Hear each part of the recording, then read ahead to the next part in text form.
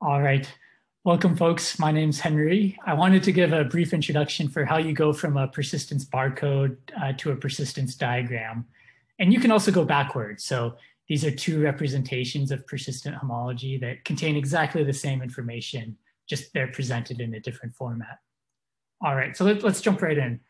On the left, I have drawn a barcode for you. And on the right, I have drawn a diagram.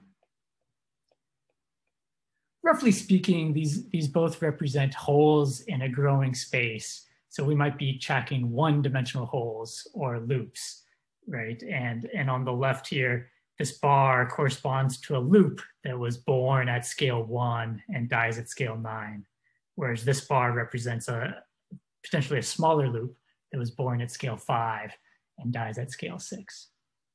So let me show you how to take this persistence barcode and turn it into a diagram. So all you do is you take each bar and you turn that bar into a point in the plane.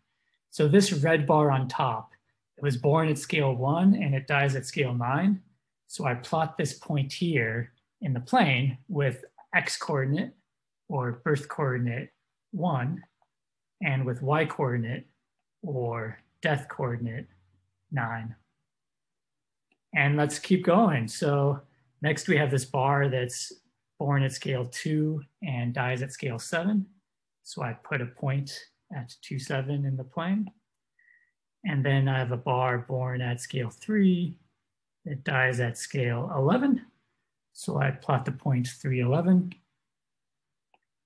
And then I have a bar born at scale five that dies at scale 10. Only two more bar born at scale five dies at scale six.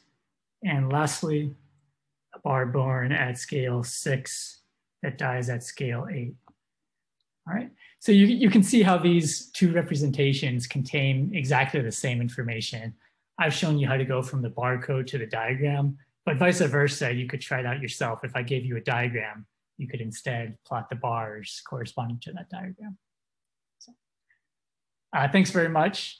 I'll actually take any questions from the audience if there are any.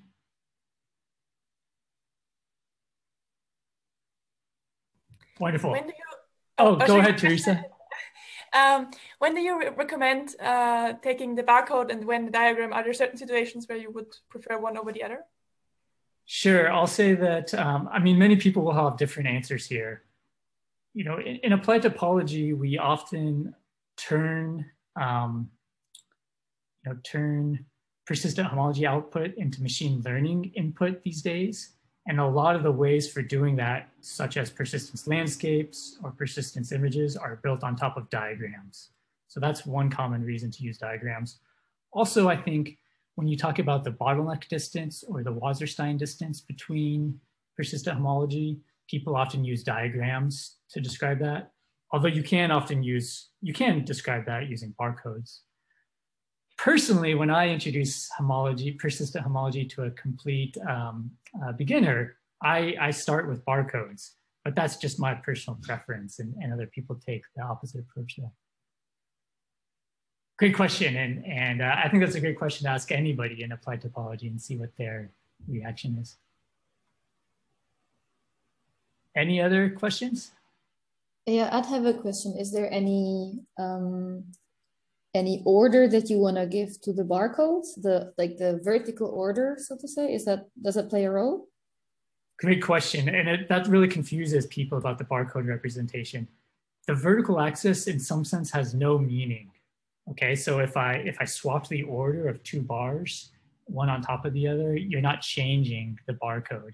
So oftentimes bars are just ordered by birth time or death time. You can see here they're ordered by birth time okay but yeah, that's one confusing aspect of the barcode. The vertical axis, in some sense, has no meaning. Any last questions? Thanks so much.